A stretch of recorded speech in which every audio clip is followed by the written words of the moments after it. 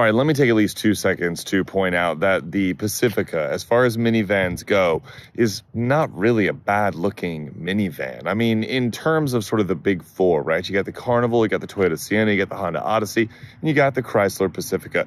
I would say the Carnival is definitely the most interesting looking as they kind of made it more tough and SUV like, but the Pacifica honestly is the classy one of the bunch. It definitely has a kind of I don't know, elevated presence, we'll say. Dare I say, somewhat luxurious or something. And the inside is very nice. The interior appointments are pretty darn good. Speaking of the interior appointments,